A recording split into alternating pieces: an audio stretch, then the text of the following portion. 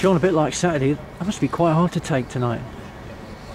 Yes, very difficult to accept that we've actually lost that game.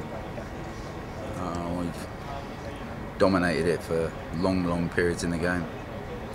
But we haven't got our rewards from it, which we deserved. Penalty shout at the end. what were your thoughts?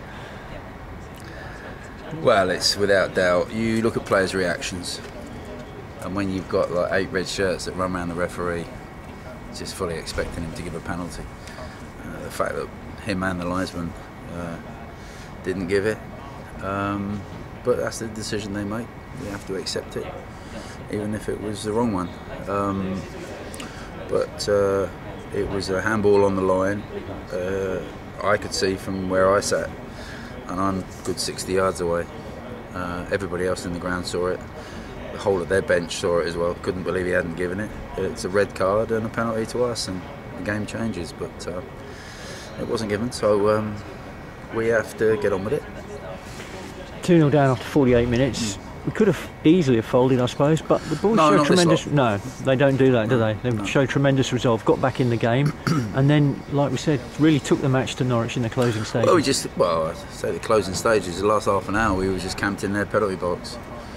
Um, we did have a lot of chances. Uh, maybe should have made some better decisions when we were in possession in their box. Um, once or twice, people maybe should have passed it to other people when uh, when they were trying to score but uh, that happens. Um, but an incredible uh, attitude from my boys.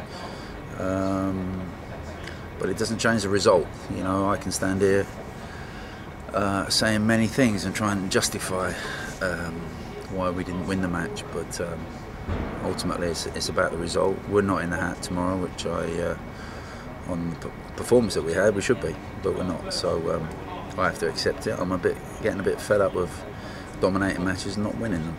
So uh, we need to uh, be a little bit tighter at the back. We've made a couple of errors tonight, which is unlike us.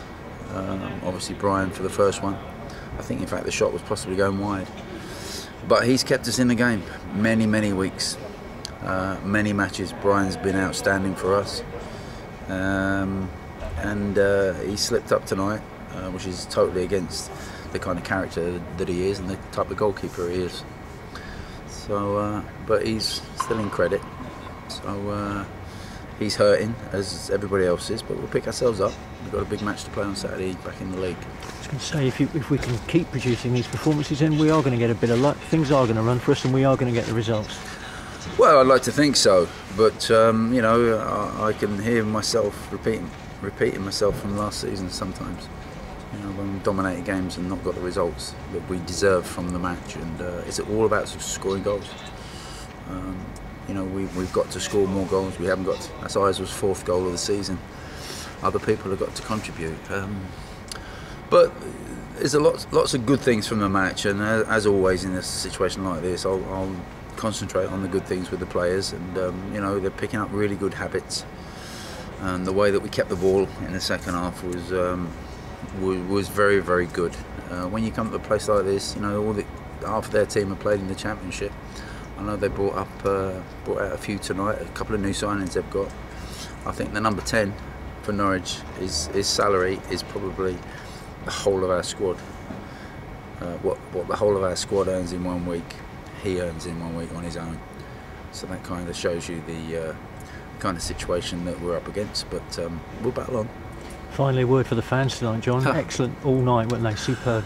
Brilliant, but obviously we give them something to shout about in the way that uh, the way that the team played.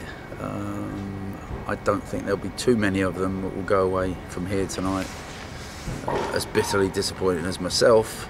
Uh, they do take it to heart as well, but um, I think that the way that they responded at the final whistle to the players' performance tonight would suggest that uh, you know they saw a team out there that worked very hard wearing the Crawley Town shirt, and um, and our fortunes will change.